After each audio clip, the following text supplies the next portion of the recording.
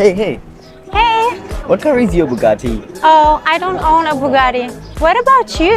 What color is your Bugatti residence? What? What do you mean?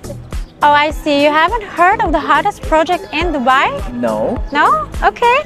Come with me, I'll show you. Okay, fine. Welcome to the first Bugatti building in the world, inspired by the French Riviera. Within the building, there are limited exclusive 2, 3 and 4 bedroom apartments as well as 11 penthouses. Okay, I want that penthouse. Do you have 750 million dirhams?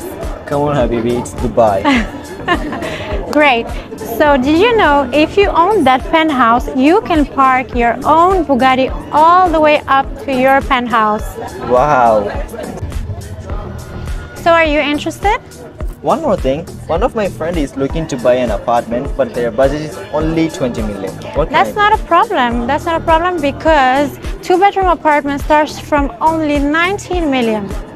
Okay, that's cool. So, bring your friend. So, do you want to know more? No, khalas, I'm ready to buy. Okay, yalla, let's book your unit.